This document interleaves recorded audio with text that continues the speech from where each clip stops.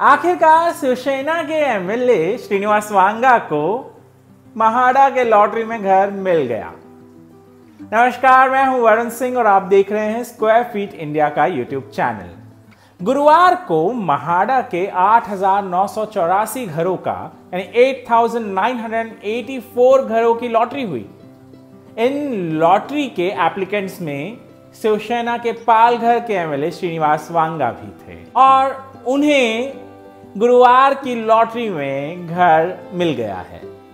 उन्होंने दो जगह पर अप्लाई किया था, थाने और नवी मुंबई में।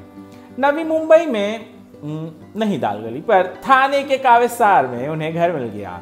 ये घर ऑरविया बिल्डिंग में है। जो घर उन्हें लगा है, वो घर सातवें मंजिल पर है।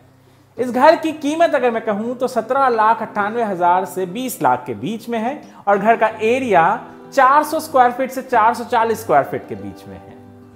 आपको मैं बता दूँ कि महाड़ा के कोंकण बोर्ड ने आठ हज़ार नौ सौ चौरासी घर की लॉटरी गुरुवार को की, जिसके लिए उनके पास दो लाख छियालीस हज़ार छह सौ पचास एप्लीकेशन आए थे। लॉटरी जो हो गई और उसने बहुत सारे लोगों को घर लगा, इसी बीच में खुशी की खबर एक एमएलए के लिए है, जिन्होंने एमपी एमएलए कोटा में अप्लाई किया था घर।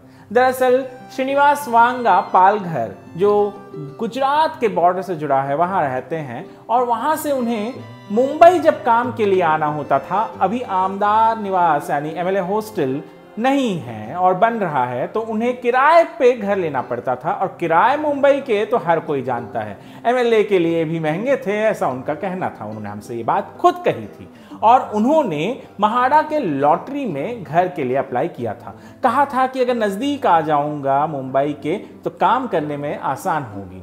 और मुंबई के नज़दीक थाने के कावेसार में उन्हें ये घर मिल चुका है, जिसकी कीमत मैंने आपको कुछ देर पहले बताई कि सत्रह लाख अट्ठानवे हज़ार से बीस लाख के बीच में और एरिया भी मैंने बताया 400 से 440 स्क्वायर फीट के बीच में है।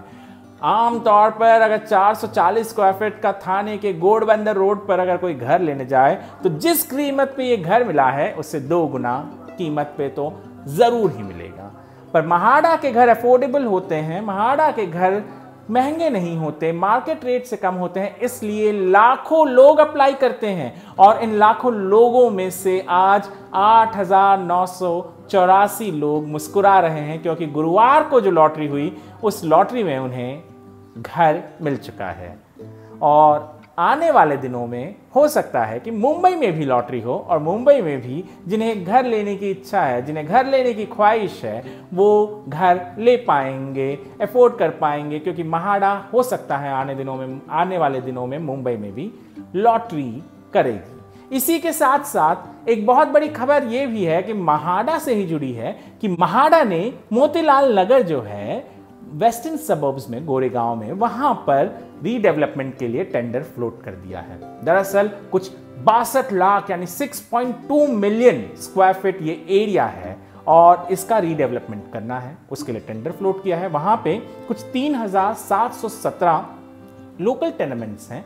यानी जो घर हैं, अच्छे अच्छे घर बने हैं, वो हैं, उसके अलावा 1600 सौ अप्रोक्सीमेटली महाड़ा के अंदाजे के हिसाब से स्लम्स हैं शैंटीज हैं। इनको रीडेवलप करना है और इसके लिए वो आप कोई बिल्डर ढूंढ रहे हैं। ऐसा बिल्डर जिसने पहले भी ऐसे कुछ काम किए हों और महाड़ा को जो एफएसआई बचेगा, इनको रिहेबिलिटेट करने के बाद रिहैब कॉम्पोनेंट के बाद, उसके अलावा जो रिजर्वेशंस हैं, उसको भी पूरा करने के बाद जो एफएसआई बचेगी, उन एफएसआई को पूरा करके जो आएगा एफएसआई उसमें से जो महाड़ा को सबसे ज़्यादा एफएसआई देगा, उस बिल्डर को महाड़ा यहाँ पे नियुक्त करने वाले हैं। वहाँ के लोगों के मन में थोड़ा असंतोष है, वो कह रहे हैं कि कोर्ट में इस चीज़ को लड़ेंगे, महाड़ा ने उनसे कंसल्ट नहीं किया।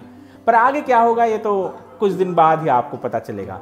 यहाँ पर भी घर बनेंगे और जो घर बचेंगे एफएसआई जो महाड़ा को मिलेगी, महाड़ा उन घरों का लॉटरी करेगी, मुंबई के गोरेगांव, मोतीलाल नगर में भी। तो लॉटरी से जुड़ी ये बहुत बड़ी खबर है, आप लोगों तक हम पहुँचा रहे हैं।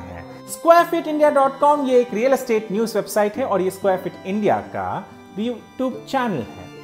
हम आपके पास इस चैनल और हमारे वेबसाइट के ज़रिए रियल एस्टेट जगत से जुड़ी हुई महत्वपूर्ण खबरें लेकर आते हैं। यदि आपको ये वीडियो पसंद आए तो चैनल को सब्सक्राइब कीजिएगा। आप हमारे वीडियो को लाइक, फॉलो और शेयर भी कर सकते हैं। इसके अलावा ज़्यादा जानकारी के लिए आप square feet India dot com पर भी विज़िट कर सकते हैं। ये वीडियो देखने के लिए आपका धन्यवाद।